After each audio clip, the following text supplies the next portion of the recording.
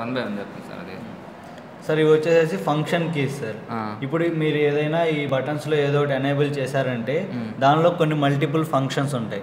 ఆ ఫంక్షన్స్ని సెలెక్ట్ చేసుకుని చూసుకోవడానికి ఈ ఫంక్షన్ కీస్ యూస్ చేస్తాం. ఇవి వచ్చేసి న్యూమరిక్ కీస్. నంబర్స్ ఇప్పుడు ఒక పారామీటర్ ఎడిట్ చేయాలంటే ఈ నంబర్స్ టైప్ చేసుకుని చేసుకోవచ్చు. లేదా ఈ నాబ్ రొటేట్ చేసుకుని చేసుకోవచ్చు. కాకపోతే ఈ నాబ్ రొటేట్ చేస్తే మీరు స్టెప్ ఎంత పెట్టారో ఇప్పుడు టెన్ కిలో ఉంది sir. Ninety five kilo H నేను ఒక ఒకటి ఇలా రొటేట్ చేశానంటే.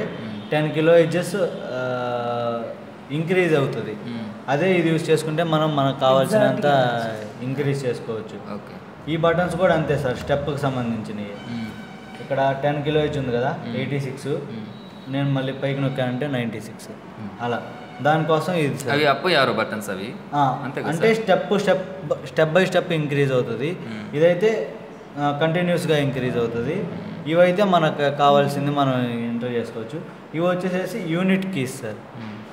మీరు ఒక పారామీటర్ ఎంటర్ చేసిన తర్వాత అది గిగా హెజ్జా మెగా హెజ్జా కిలో హెజ్జా హెజ్జెసా ఇక్కడ సెలెక్ట్ చేసుకోవచ్చు షార్ట్ కట్ ఇక్కడ చేసుకోవచ్చు. మ్మ్. పర్ సపోజ్ నేను ఇప్పుడు ఫిఫ్టీ ఎంటర్ చేశాను సార్ ఇక్కడ ఆప్షన్ వచ్చింది నాకు. మ్మ్. నేను ఇక్కడ చేసుకుంటే ఈ ఫంక్షన్ కీస్ని యూజ్ చేసి చేసుకోవచ్చు లేకపోతే ఇక్కడ నేను గిగా హెజ్జాని ఇక్కడైనా చేసేసుకోవచ్చు. అక్కడ ఆప్షన్ వచ్చింది ఇక్కడ కూడా ఆప్షన్ వచ్చింది. చేస్తాను ఆయన. మీ ఫ్యాకల్టీ కూడా కొద్దిగా బిజీ ఉన్నారు కాబట్టి ఒకసారి ఈ అవుట్పుట్స్ వరకు చూసేయండి. ఇప్పుడు మొత్తం ఇది ఫ్రీక్వెన్సీ రిలేటెడ్ ఎక్స్పెరిమెంట్స్ అన్నిటికీ ఓకే అంటున్నాడు ఆయన. ఇప్పుడు ఎలా కమ్యూనికేషన్ అంతా ఫ్రీక్వెన్సీ రిలేటెడే కదా? ఫ్రీక్వెన్సీ డీసీ కూడా చేయొచ్చు సార్ ఇది యూజ్ చేసి? డీసీ కూడా చేయొచ్చు. మరి లేదన్నాడు ఆయన? చేశారు మామూలుగా radio frequency signal direct feed చేసి చేయొచ్చు డీసీ కూడా. సార్కి ఎఫ్ఎం గురించి చూపించాను ఆల్రెడీ. వచ్చిందా? ఇప్పుడు ఇక్కడ మనకి ఏమేమి ఉన్నాయి? దీంట్లో ఎలా కమ్యూనికేషన్లో మనకి? అవన్నీ అదే సార్. మొత్తం అన్ని ఫ్రీక్వెన్సీ రిలేటెడ్గా అవును sir. Pulse amplitude modulation frequency కదా. Pulse width PPM PLL radio receivers అన్ని కూడా. ఫ్రీక్వెన్సీ రిలేషన్ ఫ్రీక్వెన్సీ రిలేటెడ్ అంతా ఇది ఉపయోగపడుతుందంటే టైం రిలేటెడ్ అంతా సిఆర్ఓస్ ఉన్నాయి కదా అన్నాడు ఆయన. తను ప- పరమేశ్ అంటాడు మీది ఎందుకంటే మాకు బాగా ఉపయోగపడిన టైప్ టైపు మన సెక్రటరీ ఏదో అంటాడు అన్న టైప్లో ఉంటున్నాడు అందరూ కొంటున్నారు ఇవి కొనుక్కుంటే ఎవరు ఉన్నారు వీటిని అంతే కదా. పరమేశ్ మాట అంటే మనకి ఏసీలో ఉన్నవన్నీ కూడా ఫ్రీక్వెన్సీ రిలేటెడే కదా. ఫ్రీక్వెన్సీకి ఒకటే కదా మనం ఉంది ఇప్పుడు సార్ మనకి మ్యాప్ చెప్పండి సార్ మీరు. సెంటర్ ఫ్రీక్వెన్సీ స్టాప్ ఫ్రీక్వెన్సీ అర్థం అయినట్టే కదా సార్. ఇది దాని తర్వాత frequency step center frequency step. నేను చెప్పాను కదా. ఇది ప్రెస్ చేస్తే ఎంత ఇంక్రీజ్ అవ్వాలని చెప్పి ఇక్కడ మనం ఇప్పుడు వన్ కిలో హెచ్ ఉంది. నేను ఇంక్రీజ్ చేస్తే అక్కడ వన్ ఏ అవుతుంది.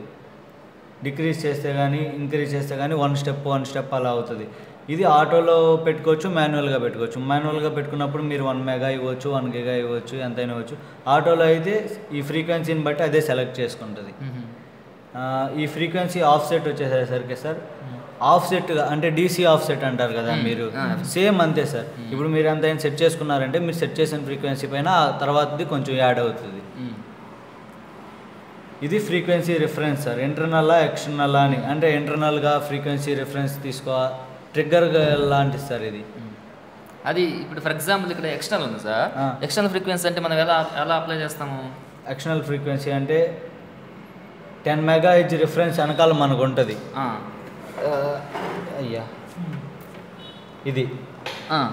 దీన్ని యూస్ చేసే దీన్ని యూస్ చేసుకున్నప్పుడు ఎక్స్టర్నల్ తీసుకోవాలి. ఇంటర్నల్ అంటే డైరెక్ట్గా మనం ఆర్ఎఫ్ ఇన్పుట్ నుంచి ఏదైతే ఇస్తామో అదే సెలెక్ట్ చేసుకుంటుంది.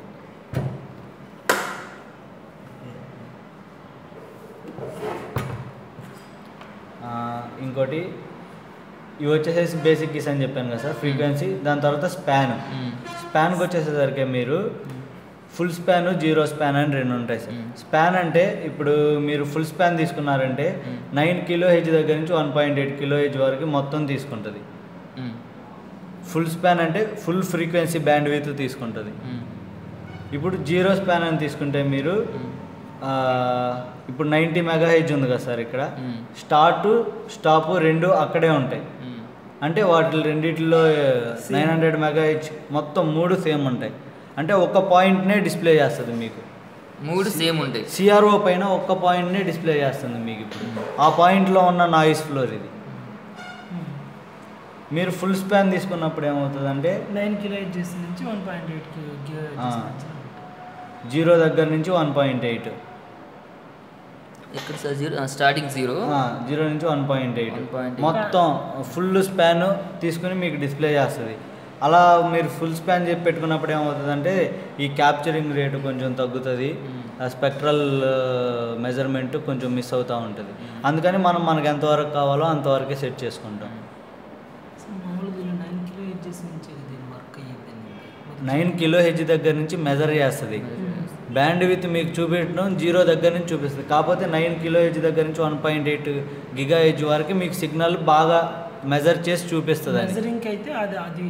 ఆ రేంజ్ బెస్ట్ అని. ఇందాక ఎయిట్ పాయింట్ నైన్ మనం మెజర్ చేస్తే ఎయిట్ పాయింట్ సెవెన్ వచ్చింది కదా సార్. ఎక్యురసీ మిస్ అయింది కదా మీకు. అలా రిలేటెడ్ ఉంటుంది. లాస్ట్ స్పాన్ అనేది ఏంటంటే మనం లాస్ట్కి దీని ఇప్పుడు ఈ full span zero span set చేయక ముందు లాస్ట్ ఏదైతే పెట్టామో దాన్ని తీసుకుంటుంది previous previous. Previous amplitude sir. Amplitude వచ్చేసి రిఫరెన్స్ లెవెల్. రిఫరెన్స్ లెవెల్ అంటే ఈ నాయిస్ ఫ్లోర్ ఎక్కడి నుంచి స్టార్ట్ అవ్వాలని ఇండికేట్ చేస్తుంది మీకు. ఇందాకడ మీరు ఆటో సెట్ కొడితే సిగ్నల్ ఇచ్చాం నైంటీ కదా బ్లూ కలర్ బటన్స్ అన్ని ఏమంటారు? ఏ సెట్ అంటారు? Basic basic keys sir. ఇ- ఇది యాంప్లిట్యూడ్ గ్రాటిట్యూడ్ ఈ స్కేల్ ఉంది కదా sir. Minus twenty minus thirty minus forty minus fifty అలాగూ. ఈ రిఫరెన్స్ లెవెల్ మీరు ఎక్కడ సెట్ చేసుకుంటే మీరు సిగ్నల్ పెట్టినప్పుడు మీకు మెజరింగ్ అక్కడి నుంచి చూపిస్తుంది. ఒకవేళ అది అవుట్ ఆఫ్ లిమిట్ వెళ్ళిపోతే ఈ రిఫరెన్స్ లెవెల్ని మీరు మార్చుకుని దాన్ని కిందకి తీసుకురావచ్చు. నేను ఇది మారుస్తుంటే స్కేల్ మారుతుంది చూడండి సార్. రిఫరెన్స్ లెవెల్ అంటే ఈ కింద ఈ వేవ్ ఫామ్ ఎక్కడి నుంచి స్టార్ట్ అయ్యిద్దో అది. మీరు ఇక్కడ ఎక్కడ ఎంత సెట్ చేసుకుంటే మీరు ఒక సిగ్నల్ మెజర్ చేసేటప్పుడు అక్కడి నుంచి స్టార్ట్ అవుతుంది అది.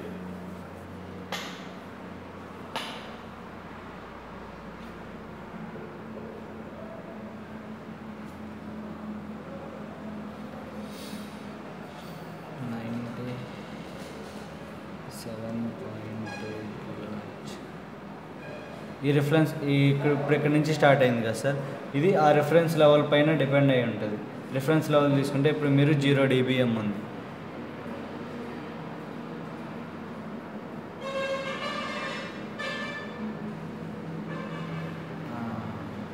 తగ్గిస్తున్నారా? అంటే మీకు డిఫరెన్స్ చూపిస్తున్నాను. Plus or minus minus thirty ఎట్లా సార్ అది? అటెన్యుయేషన్ అంటే మార్చాను సార్. ఇది మైనస్ థర్టీ డీబీఎంకి తీసుకెళ్ళాను. తీసుకెళ్తే పైకి వచ్చింది. ఇప్పుడు నేను ప్లస్కి తీసుకొస్తే అది ఇక్కడికి వస్తుంది? కిందకి వస్తుంది కదా? ప్లస్ తీసుకో. ట్వంటీ డీబీ రిఫరెన్స్ లెవెల్ అంటే ఇది ఎక్కడి నుంచి వేవ్ ఫామ్స్ స్టార్ట్ అవ్వాలని చెప్పి చెప్పేది. ఇది వచ్చేసి అటెన్యుయేషన్ సార్. అటెన్యుయేషన్ తెలుసు కదా సార్. థర్టీ డీబీ అలా అటెన్యుయేషన్ సెట్ చేసుకోవడానికి ఇది యూస్ చేస్తాం. ఆటోలో ఉంటుంది మాన్యువల్లో ఉంటుంది. మాన్యువల్లో ఉన్నప్పుడు మనం యూజర్ డిఫైన్ మనకి మన ఎక్స్పెరిమెంట్ బట్టి కావాల్సింది పెట్టుకోవచ్చు. ఆటోలో ఉన్నప్పుడు ఆటోమేటిక్గా రెండు ఎలా సార్? ఆటో మనం ఎలా సెట్ చేసుకోవాలి? మానువల్ ఎలా సెట్ చేసుకోవాలి? అది ఫస్ట్ డిఫాల్ట్గా ఆటోలోనే ఉంటుంది సార్. ఓకే. మీరు దాన్ని మాన్యువల్లోకి మార్చుకుంటేనే మీరు ఎడిట్ చేసుకోవచ్చు. ఆటోలో ఉన్నప్పుడు మీరు చేయడానికి బ్యాక్కి ఫ్రంట్కి అదే బటన్? ఆటోలో ఉన్నప్పుడు అది డైరెక్ట్గా థర్టీ తీసేసుకుంటుంది. ఓకే. ఈ సిగ్నల్ని బట్టి. మీరు మార్చితే అది మాన్యువల్లోకి వచ్చేసేసింది ఇప్పుడు మాన్యువల్లోకి వచ్చింది. చేంజ్ చేశారంటే ఇప్పుడు మనం వాల్యూ ఇచ్చుకోవచ్చు. స్కేల్ పర్ డివిజన్ సార్ ఇది. ఈ డివిజన్కి ఎంత స్కేల్ అని? Ten DB. Scale per division ఉంది. ఇది స్కేల్ టైప్ వచ్చేసి లాగ్ కావాలా లీనియర్ కావాలా అని సెలెక్ట్ చేసుకోవడానికి. లీనియర్ అయితే ఇలా ఉంటుంది సార్ వేవ్ ఫామ్. లైన్ ఉంటుంది. లాగ్ అయితే కంటిన్యూస్గా మీకు చూపిస్తూ ఉంటుంది. Reference offset. ఈ రిఫరెన్స్ లెవెల్కి ఆఫ్ సెట్ ఏదన్నా సెట్ చేసుకోవాలంటే సెట్ చేసుకోవచ్చు. ఇది రిఫరెన్స్ యూనిట్ సార్ పవర్ ఇప్పుడు డీబీఎం మైక్రోవాట్ డి పవర్ ఈ యూనిట్ సెట్ చేసుకోవడానికి మ్మ్. మీరు దీన్ని యూజ్ చేసుకోవచ్చు. ఓకే ఇది వచ్చేసేసి preamplifier sir. Low frequency signals ఉంటాయి కదా సార్. వాటిని మెజర్ చేయాలంటే ప్రీ యాంప్లిఫైయర్ ఆన్ చేసుకుంటే మీకు కొంచెం మెజర్మెంట్ అనేది ఎక్యూ ఎక్యురేట్గా వస్తుంది. ప్రీ యాంప్లిఫైయర్లో ఫ్రీక్వెన్సీ సిగ్నల్ని మెజర్ చేయడానికి యూజ్ చేస్తాం మనం. అది డిఫాల్ట్గా ఆఫ్లో ఉంటుంది. మీరు ఎప్పుడైనా లో సిగ్నల్స్కి వెళ్ళినప్పుడు దాన్ని ఆన్లో పెట్టుకోవచ్చు. ఇప్పుడు దీని గురించి అయిపోయింది సార్. ఈ ఆటో సెట్ అంటే మీకు తెలుసు. సిగ్నల్ని ఆటోమేటిక్గా సెట్ చేసుకుని మనకి చూపిస్తుంది. ఇది వచ్చేసేసి bandwidth sir bandwidth average బ్యాండ్ విత్లో ఏముంటుందంటే రిజల్యూషన్ బ్యాండ్ విత్ ఉంటుంది వీడియో బ్యాండ్ విత్ ఉంటుంది. Hmm. రిజల్యూషన్ బ్యాండ్ విత్ మీరే మీరు చూస్తున్నట్టయితే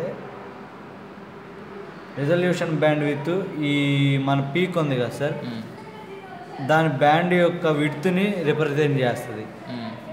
ఇప్పుడు నేను దాన్ని మారిస్తే